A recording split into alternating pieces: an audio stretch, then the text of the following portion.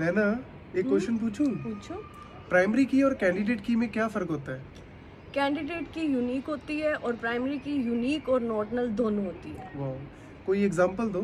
Example जैसे मैं unique हूँ और मैं कभी खाली नहीं बैठ सकती। वेरी गुड तो मतलब कैंडिडेट की ऐसा एट्रीब्यूट जिसमें हम डुप्लीकेट डेटा नहीं डाल सकते मतलब उसमें डेटा जब भी डालोगे यूनिक होगा।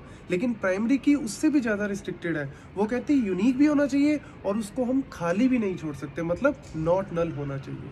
आपको हमारी ये वीडियो कैसी लगी? हमें कमेंट करके बताएँ और ज़्यादा से ज़्यादा लाइक और शेयर करें। Thank you